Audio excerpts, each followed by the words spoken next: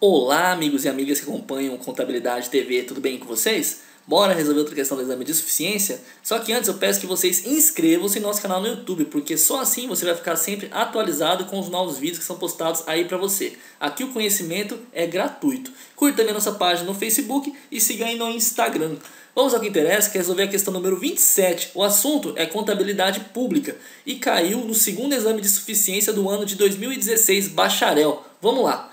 De acordo com o Manual de Contabilidade aplicada ao setor público, MCASP, os estoques são ativos na forma de materiais ou suprimentos a serem usados no processo de produção, ou na forma de materiais ou suprimentos a serem usados ou distribuídos na prestação de serviços, ou mantidos para venda ou distribuição no curso normal das operações, ou ainda usados no curso normal das operações.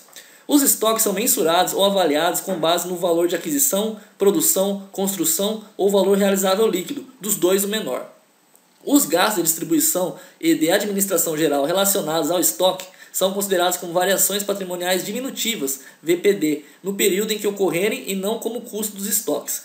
De acordo com o exposto, assinale o item que apresenta um exemplo que não é reconhecido como variação patrimonial diminutiva, VPD, do período em que é realizado. A letra A fala: quantias anormais de materiais desperdiçados de mão de obra ou de outros custos de produção. B. Custos de armazenamento, a menos que sejam necessários no processo de produção antes de uma nova fase de produção. C. Despesas gerais administrativas que não contribuam para colocar os estoques no seu local e na sua condição atual. Ou D. Custo incorrido com transporte de matéria-prima para utilização no processo de produção.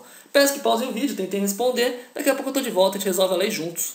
E aí, pessoal, pausaram o vídeo, tentaram responder? Bom, para facilitar a resolução, coloquei do lado esquerdo enunciado e do lado direito a resolução. Vamos então analisar aqui a solução do exercício.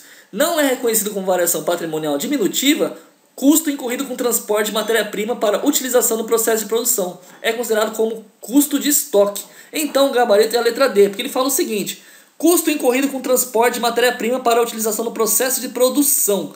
Esse custo incorrido com transporte de matéria-prima para utilização no processo de produção, ele é considerado como custo de estoque. Ele não é considerado como variação patrimonial diminutiva.